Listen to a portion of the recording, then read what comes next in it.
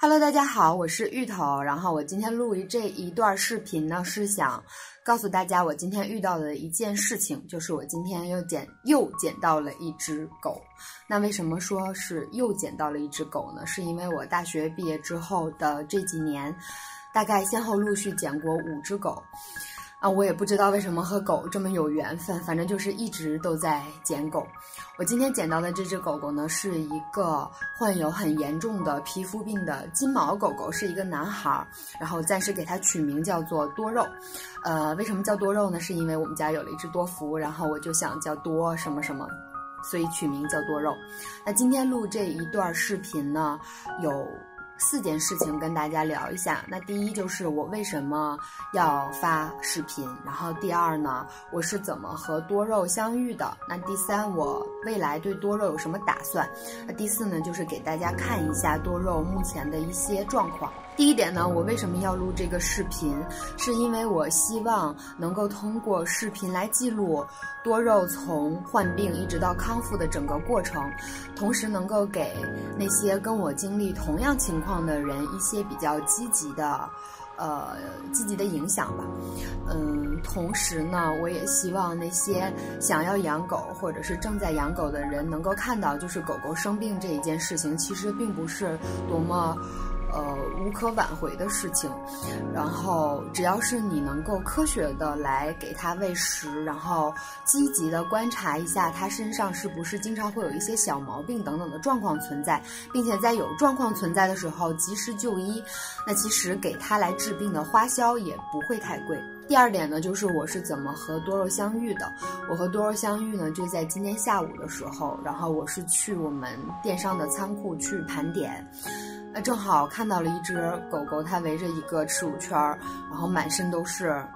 伤口的样子。后来我就问了一下是谁的狗，然后有一个快递员跟我说是他捡到了这只狗，然后捡到的时候全身就都是皮肤病，也去宠物医院看宠物医院看过，但是。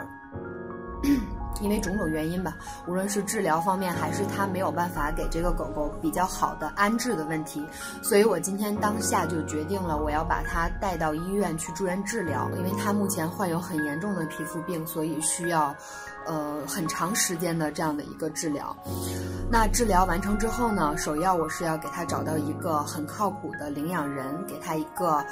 很稳定的家庭，那大家可能会问说，为什么你自己不养等等这些问题？呃，第一是因为我已经有多福了，然后多福年龄也比较大，它是七岁的狗狗，然后它不见得能够完全的容纳另外一只新狗进入到家庭，而且对于多肉来说，可能。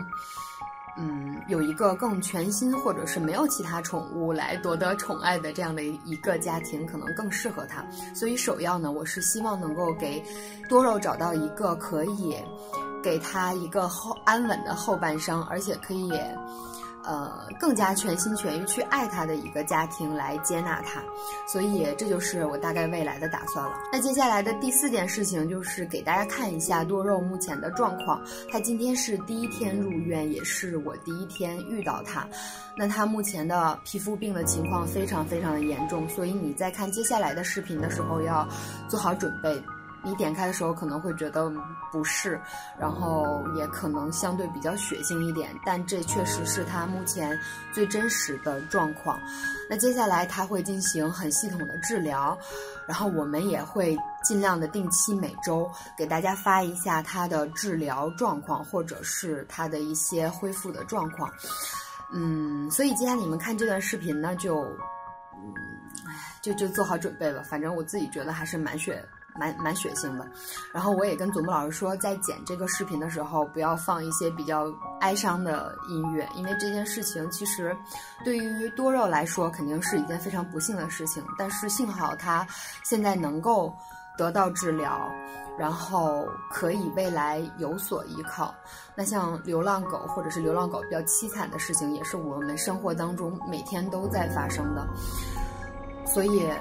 嗯。它是一件悲惨的事情，但还好它有一个相对比较好一点的结果。那对我来说呢，其实也不是一个很大的负担，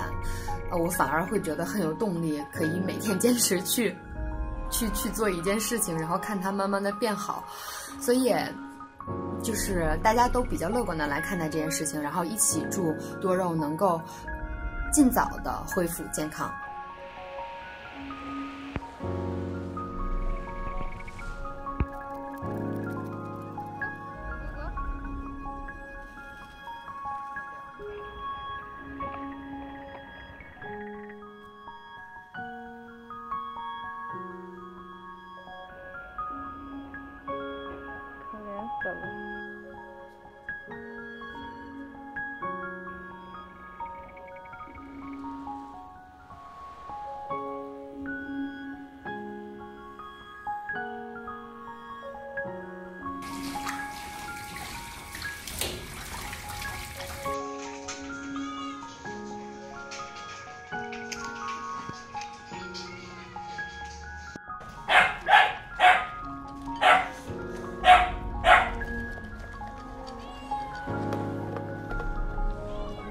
如果你看到这一条视频很喜欢多肉的话，也暂时先不要，呃，私信给我们，就是想要领养它的一些想法，因为暂时。嗯，多肉的治疗是需要很长时间的，所以我是希望能够完全把它治疗好之后，再给它找一个靠谱的领养家庭。那同时，你也可以在这个过程当中仔细的考虑一下，你到底有没有准备好养狗，能不能给它一个安稳的后半生。呃，我自己其实对领养人的要求还是非常非常的严格的，我是希望能够给到他一个可以让他安稳度过他未来。狗生的一个家庭，所以，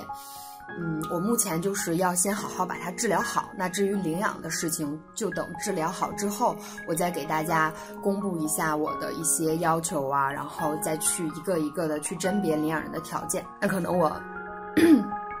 比较圣母一些，想的会比较多，但是。